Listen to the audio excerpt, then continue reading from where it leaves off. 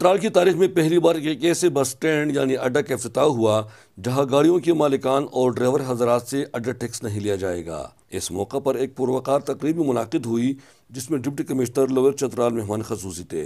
DC Chitral Anwar हक ने फीता काट कर मारवी अड्डा का अफ्ताह किया। तकरीब से खिताब करते हुए डिप्टी कमिश्नर चतराल ने अड्डे की इंतजामिया पर ज़ोर दिया कि वो तलब तलबात और मजदूर अफराद के साथ टिकट में रियायत करे। हाजी सुल्तान मोहम्मद मुनिर का की जान खतीब शाही मस्जिद मौलाना हलीकुज़मान और दीगर ने अजहर ख्याल करते हुए इस पर नहायत खुशी का इजहार किया कि अब आवाम का दिलीन मुतालबा पूरा हुआ और इस अड्डे में मुसाफरों के लिए तमाम सहूलियात मैसर होगी।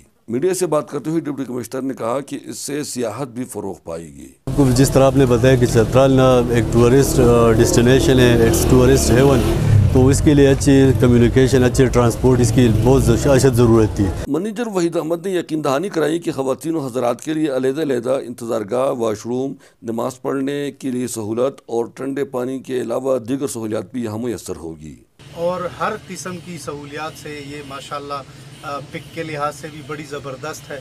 आप इस पे ट्रैवल करेंगे तो एंजॉय करेंगे इंशाल्लाह। मैनेजिंग डायरेक्टर हाजी गुल मोहम्मद ने खुशखबरी सुनाई कि यहाँ ड्राइवर हजरात और ट्रांसपोर्टर से अड्डा टिक्स नहीं लिया जाएगा। और कोई अरसे के लिए हमने फ्री भी की है चतराल में एक मैारी अड्डे की सख्त ज़रूरत थी, जहाँ मुनासिब किराए पर तमाम तर सहूलियात मैसर हो। मारवी अड्डा चतराल से पिशावर इस्लामाबाद रावलपिंडी के लिए सर्विस देती है और करीब लाहौर के लिए भी यहाँ से सर्विस शुरू होगी। नई गाड़ियों और तमाम सहूलियात से आरास्ता इस अड्डे के आगाज़ से उम्मीद है की यहाँ सियाहत भी फरोख पाएगी और अब मुल्क और गैर मुल्की सयाह हफ्तों के लिए जहाज़ के इंतज़ार नहीं करेंगे। बेहतरीन सड़कें, अच्छी ट्रांसपोर्ट और अच्छी बस स्टैंड किसी भी इलाके की तरक्की में कलीदी किरदार अदा करते हैं।